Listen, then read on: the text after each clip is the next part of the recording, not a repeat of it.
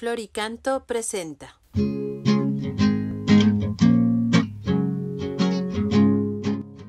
Hoy celebramos a la Beata Esperanza de Jesús.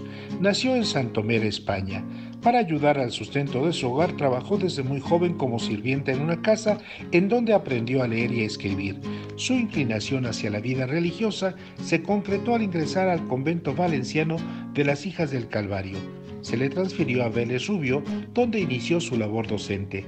Después de servir un año y al manifestarse de ella sucesos místicos incomprendidos por su comunidad, fue trasladada a Madrid, donde tuvo que comparecer ante el Santo Oficio, quien le eximió de las acusaciones contra ella formuladas.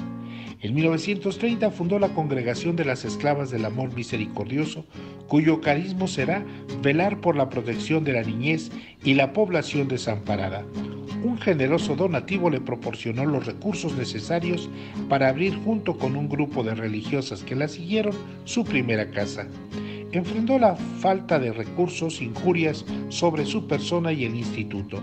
Incluso algunas autoridades eclesiásticas prohibieron el apoyo a su obra. Su personalidad y dones superaron los problemas y su hermandad se expandió.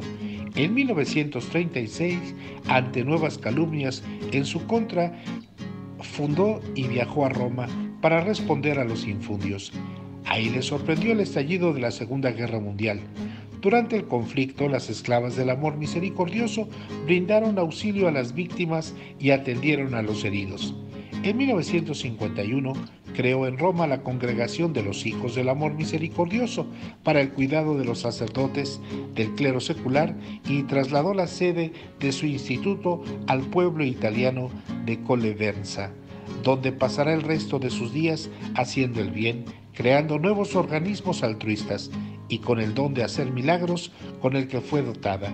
Realizó curaciones sorprendentes fue beatificada por el Papa Francisco en el 2014.